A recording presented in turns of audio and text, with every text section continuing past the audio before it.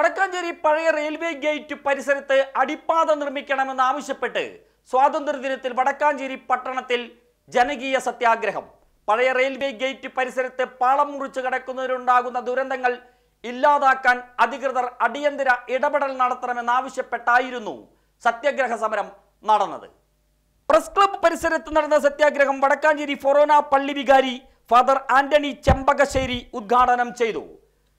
അടിപ്പാത അനിവാര്യമാണെന്നും അധികൃതർ ഉദാസീനത വെടിയണമെന്നും അദ്ദേഹം ആവശ്യപ്പെട്ടു.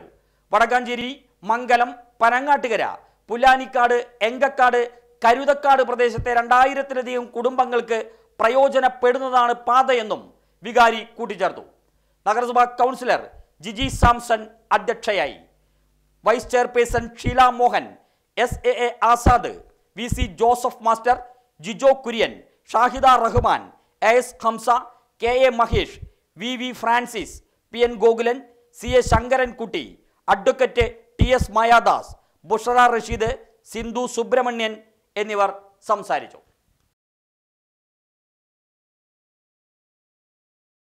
അതിന്റെ സത്ത എന്താണെന്ന് ഗാന്ധിജിയോട് ചോദിച്ചിരുന്നു. അപ്പൊ അദ്ദേഹത്തിന്റെ അരുമ ശിഷ്യനായ വിനോഭവയോട് ചോദിക്കാനാണ് പറഞ്ഞിരിക്കുന്നത്. അത് കാരണമാണ് ഞാൻ കൊണ്ടിരിക്കുന്നത്. അപ്പൊ വിനോബോ വളരെ ശാന്തമായിട്ട് പറഞ്ഞു ഗാന്ധിയൻ ചിന്തയുടെ അടിസ്ഥാനം എന്ന് പറയുന്നത് സ്നേഹവും സേവനവുമാണ്. സ്നേഹവും സേവനവുമാണ് ഗാന്ധിയൻ ചിന്തയുടെ അടിസ്ഥാനം എന്ന വിനോബ